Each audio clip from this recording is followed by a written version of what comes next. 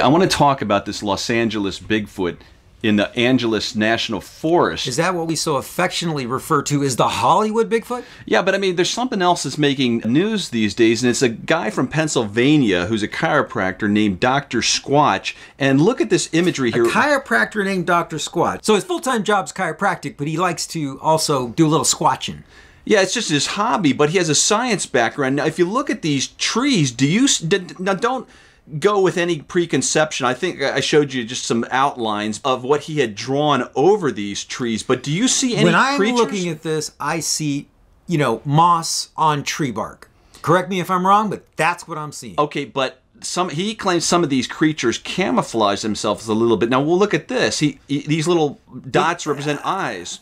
And so but that that's his representation. I'm not seeing that until he draws this on there. Well, he, these animals, according to him, are cloaked in some way in that they're camouflaged and they're blending in with the environment. Let me get this. Is it because he's a chiropractor that he has a special ability to see this stuff? Because I'm not seeing anything he until a, he puts it on. He has a science background. Now, no, no, but no, I took away the. Okay, now maybe it's a little easier, but I'm not. I I until he puts it on there, am I, am I really seeing it clearly? No. But is it stuck in your mind now that I remove these certainly, guidelines? Certainly, as soon as he points it out, it is. Right, I can see like on this one. The Here's it's a skeleton-looking thing, and that's what he calls a. Uh, I mean, that's a that's a far cry for a skeleton, but yeah, okay, I, I see it. I, well, I don't know if it's a skeleton. It just looks like that. I mean, me. it's similar.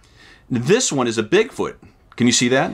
It looks like bark on a tree. Okay, maybe I don't know. I, he not, obviously is some sort of an expert in cloaking because I'm not really seeing it. But no, but look at this now. We had our artists come in and draw over this. Now you can clearly see what he I saw. Mean, don't people see images in every? Uh, this is what he's saying. So you can clearly see with this imagery more detail. Well, absolutely. Somebody's drawing it all in there. I, now, given that tree alone, I'm not going to see any of that. All right. Now let me ask you this. I might well, be seeing a cheeseburger in there for all I, you know. Come on. Well, maybe he sees stuff that other people don't see. Obviously, he's seeing something I don't see. That's why he's pointing it out to me. So, uh, what is he an expert at this stuff? Well, of course he has his own channel. Let me show you. Let me. Uh, that just definitively ma- definitively makes you an expert because you have your own channel. Well, let me show you something else. Look in this region right here. Now, do you see any creature here? This may, this might be something he. I got to tell you, I'm seeing nothing right there. All right. Well, let me zoom in. Are you saying you, you have right the there? ability? I'm really not getting. I'm seeing a blurry image, is what I'm seeing, which is typical. Look at this. What?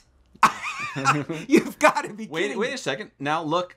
See, now do you see it in here? Look, there's an eye. There's the other eye. There's an uh, ear. There, there. Look at that. That's something that our channel came up with on his video. You're kidding. Yeah. No, that was. We're seeing that.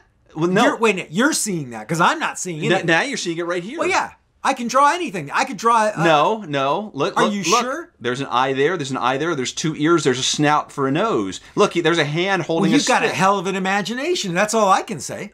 I'm saying these animals, uh, according to di- now, this whole tree is cloaked animals. Is that what you're I'm not saying? saying they're cloaked. They're camouflaged, according to Dr. Squatch. cloaked. What's the difference? Well, I give this guy credit because he's out in the field uh, examining uh, the uh, wilderness for Bigfoot and We're out cryptids. in the field. No, we are. We both are. He's bringing to light a new vision. I'm just saying there's different perspectives, and we're just looking at well, someone else's. This is obviously a new one for me. I can tell you that. Fair enough.